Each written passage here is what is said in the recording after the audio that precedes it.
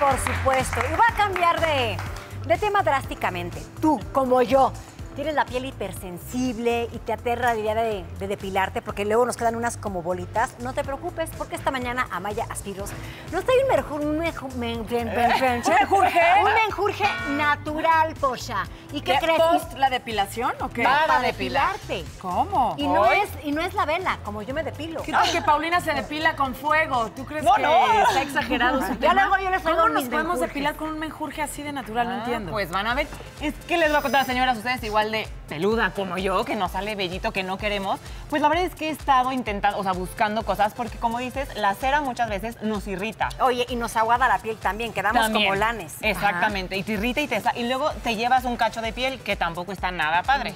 Y luego con estas tendencias de láser y tal, pues ya vamos a utilizar algo más naturalito. ¿Cómo qué tú? Entonces, esto es lo que les quiero explicar, que lo que hace es debilitar el vellito poco a poquito. No es que lo usemos una vez y ya no tengamos No es nada. como la seda que te la arrancas y ya no tienes nada. Exactamente, ese, vamos a- ese va a ser nuestro tercer menjurje. Muy bien. Los primeros nos van a ayudar a debilitar el crecimiento desde raíz. Lo tenemos que utilizar muy, o sea, muy ¿Cada seguido. La verdad es que es como entre dos o tres días o sea, a la semana y sí varios meses para que vaya debilitando poco a poco, nos vaya saliendo menos y más delgadito. Y si A lo vamos preparando, el primero. Yay. El primero, platicamos.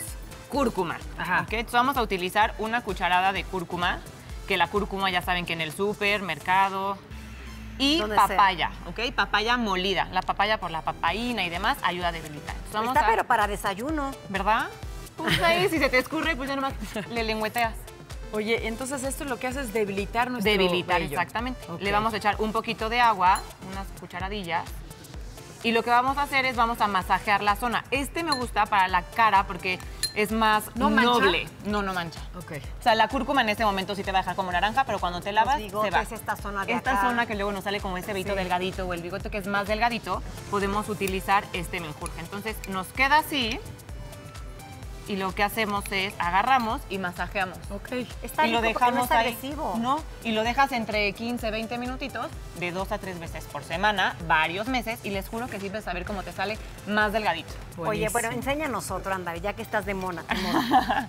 El segundo, moda y de mona. este puede ser como para vellito un poquito más eh, Grueso. grueso. exactamente, ¿no? Algunas veces el bigote ya empieza a estar más grueso por la depilación o a gente se lo llega a rasurar. ¿Qué dice Carlos, eh? Tú, Carlos, ¿Qué no, está o sea, diciendo Carlos? Para ti necesitamos arrancártelo.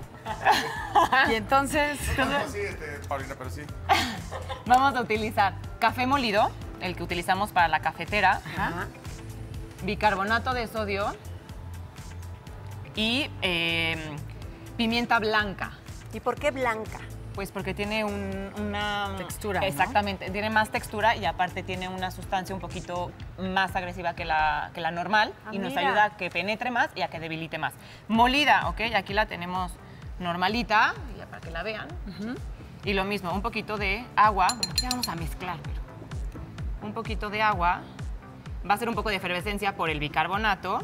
sí, esto va a ser un poquito más exfoliante el tema, ¿no? Exactamente, y un poquito más, no agresivo, pero pues sí es más fuerte. Entonces vamos a revolver igual. Nos falta un poco de Huele agua. delicioso. A cafecito, ¿no? Está rico.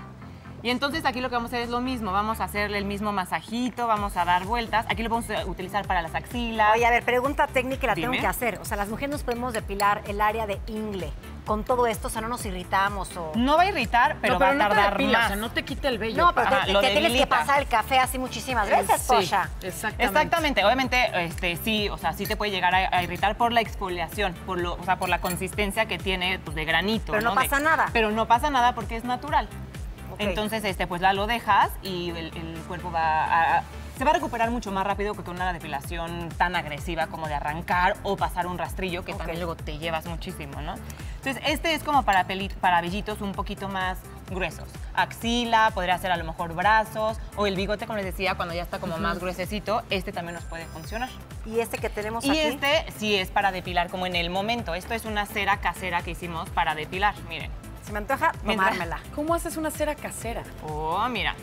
Va quedando de esta forma según se va enfriando, pero vamos a utilizar azúcar, que puede ser azúcar morena o azúcar normal, miel y un y medio limón, ¿ok? Y el jugo de un limón. Entonces, esto lo que va a hacer, pues va- lo vamos a poner a fuego lento y le vamos a estar dando vueltas para que quede con esta consistencia un poquito todavía más de cera. Se tiene que enfriar bien. Y luego lo ponemos en la piel en Oye, donde está la zona. perdón la Dime. interrupción, de noche, ¿no? Porque el limón mancha Exactamente, este también, siempre, de noche, exacto, noche. Pau. Lo ponemos aquí y luego con una tela de algodón, si es lo, es lo mejor, cubrimos el área donde lo pusimos y jalamos en contra de la manera en la que crece el vello. O sea, si crece para allá, pues jalamos para arriba. Vamos a tener que ponernos como dos veces en la misma área porque no es tan agresiva como la cera comercial Y o para así. siempre se te quita. Y este, pues te vuelvan a salir Poquitos. Exactamente, pero sí ayuda a debilitar. O sea, es una cera natural menos agresiva. ¿Qué tal, eh, ¿Qué tal, Eposha? Y si estás enferma de la garganta, pues luego te la comes. Exactamente. Claro, ya estás, No lo de aquí, pero nada. sí lo de Oye, acá. Amaya, muy bien. ¿Cómo ves? Lo voy a intentar.